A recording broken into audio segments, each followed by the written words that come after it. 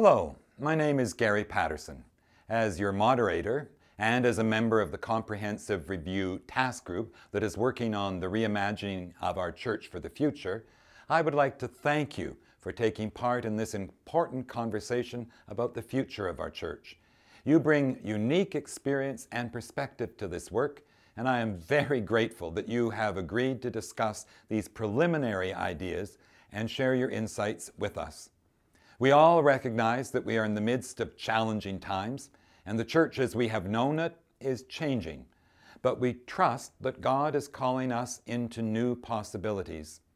St. Augustine once said, Without God, we cannot, but without us, God will not. So we have a role in the changes that are happening. Our task is to discern and respond. And that's what we are asking of you in a very concrete way. By wisdom a house is built, and by understanding it is established, says the writer of Proverbs.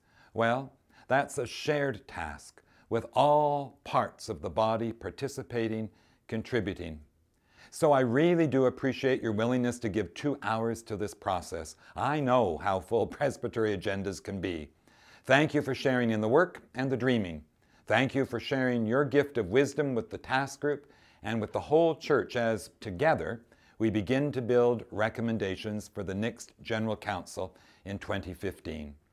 Let me invite you into a moment of prayer.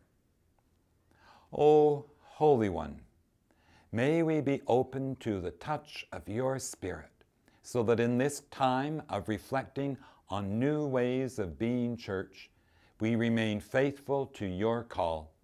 Help us to be visionary and to work consciously, conscientiously, concretely, constructively.